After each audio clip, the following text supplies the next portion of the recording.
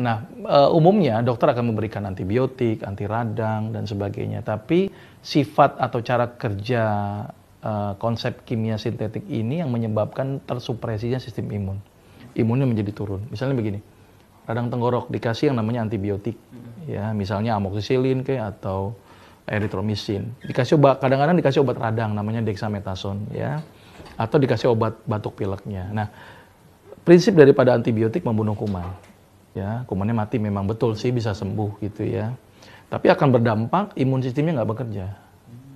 Dikasih lagi golongan steroid tadi, golongan dexamethasone, prednisone yang menyebabkan antiinflamasi. Radangnya hilang, hilang sih radangnya. Tetapi menyebabkan supresi sistem imun. Imunnya didiemin, ini diemin, diem gitu ya.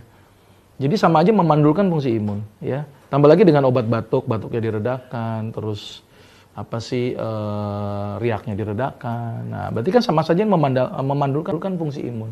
Maka itu orang-orang yang sering radang, mengkonsumsi obat sering banget konsumsi obat-obat anti radang, itu menyebab imunnya tidak terlatih.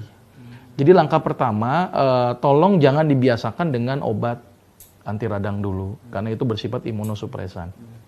Terus kemudian e, berilah e, tanaman obat yang bersifatkan meningkatkan imun terlebih dahulu sebelum kita mensubstitusi dengan pengobatan herbal.